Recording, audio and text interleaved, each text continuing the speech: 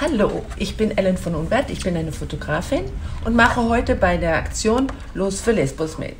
Ich habe hier einen Print von Claudia Schiffer, die ich vor ungefähr 30 Jahren entdeckt habe und diesen Print möchte ich gerne heute in die Lösungstrommel schmeißen oder besser gesagt legen.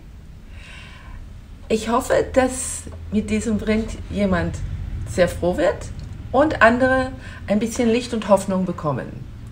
Macht mit, kauft Lose und stay safe. Danke, tschüss.